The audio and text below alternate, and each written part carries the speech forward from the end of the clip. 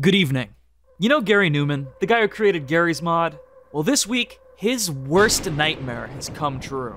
Garry has stated in interviews in the past that for years, the primary thing that motivated him to continue work on Gmod was pure spite and fear for the prospect that a better, more popular mod called JB Mod would eventually return. And on October 22nd, 2022, it finally happened. Holy fuck! They're playing tic tac toe! Oh my Jesus! Oh my goodness lord. Holy shit! Okay, I know what you're thinking. What in the hell is this? Well, you see, this is JB Mod, which just launched on Steam last Saturday. For those who aren't familiar, JB Mod was the OG Half-Life 2 sandbox mod, designed to re-implement the physgun that was cut from the game and let people toy around with it on a more stable branch of the engine. It was created by a guy named Jackbox, or JB55. Some people claim it to have been the first Half-Life 2 mod ever, and it genuinely did serve as the inspiration for what we've come to know today as Gmod. However, for about a decade and a half now, there's been a false narrative spread around online about how once Gmod took off, JBMod engaged itself in a pathetic one-sided war with Garry's Mod that they suffered a decidedly humiliating loss in. This isn't really accurate, however. In reality, someone named Snakes, who was a friend of JB55, effectively hijacked the JB Mod project and ran what I guess you could call a trolling campaign to mess with people. Long after JB55 abandoned JB Mod to go play World of Warcraft, Snakes created a website under the JB Mod brand to spread word of an upcoming update that was going to blow Gmod out of the water. He even had drawings and memes made to illustrate just how much Gmod sucked, which have now become infamous in the community.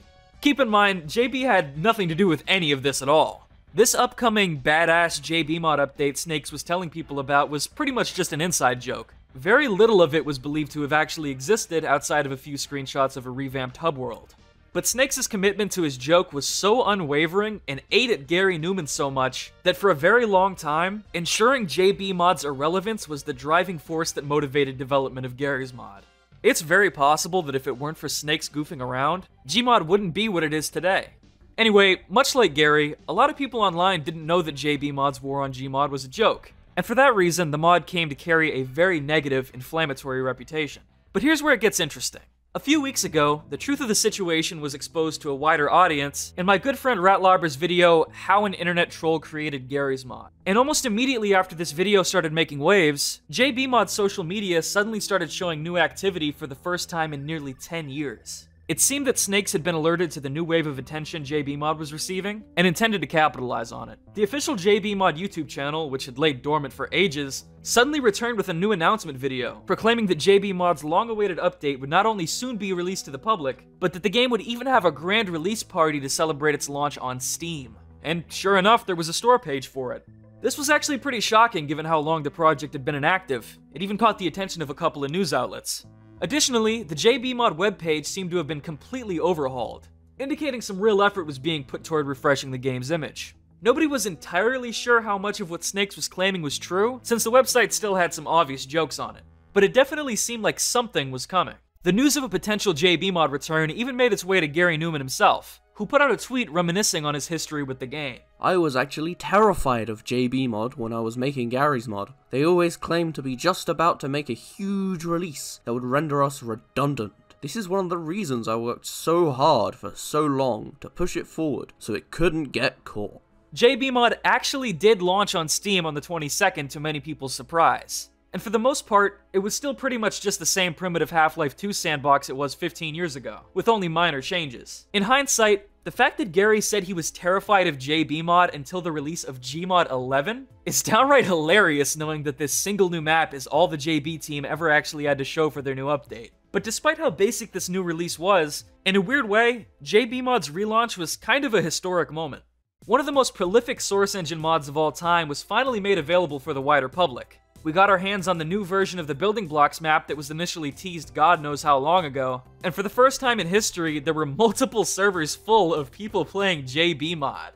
Unfortunately though, the experience isn't perfect. For one, despite running on the latest branch of the Source engine, the game is still pretty unstable and crashes a lot, especially in multiplayer. Oh, I got a hard crash. I get, yeah, me too. the new build of the game also doesn't have a sticky bomb launcher, which is kind of disappointing.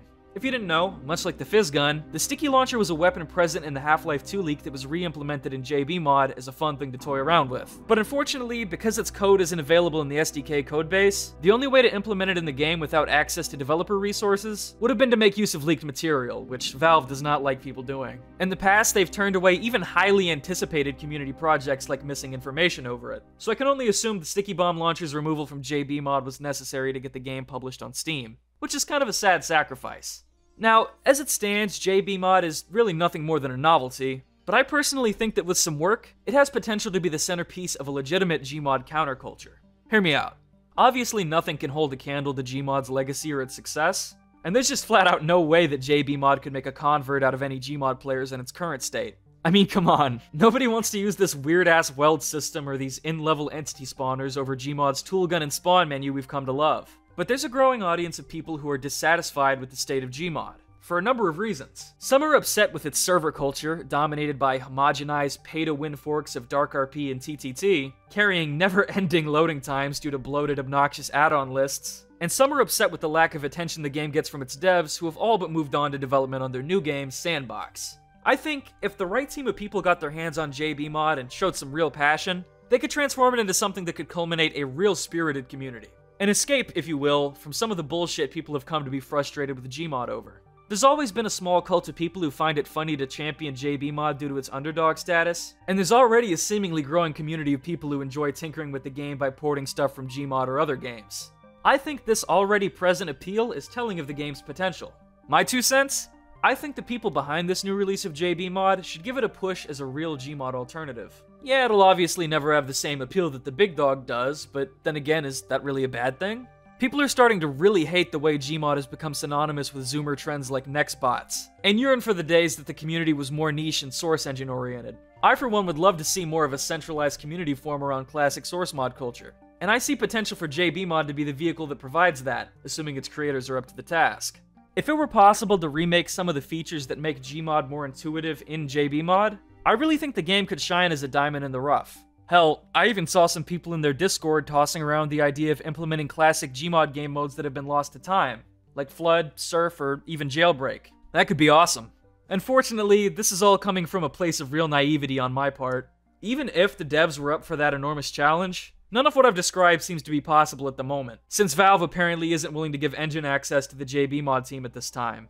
And hey, I can't blame them too much for that. After all, most of the world is convinced that JB mod is nothing but a game made to pose ragdolls in sexual positions. But I like to think that if enough eyes reach this project, and if enough support is shown for it and the people who work on it, anything is possible. So if anything you've heard in this video sounds interesting to you, go check out JB Mod and its community today, and help celebrate its legacy. There's more fun to be had than you might think. Hi, I'm Richter in Post, and I'm really sick, so I'm sorry about my voice. While I was working on this video, some stuff came to my attention that I'd like to share with you. One, a JBMod TikTok video came out that writes, the reason the sticky bomb launcher was removed was because Valve's lawyers, quote, threatened my family's life. Two, the point of the plane in the map is apparently to weld canisters on it and then shoot them and watch the plane fly around in the sky. You can see this in the ancient Lambda Tests JB Mod promotional video.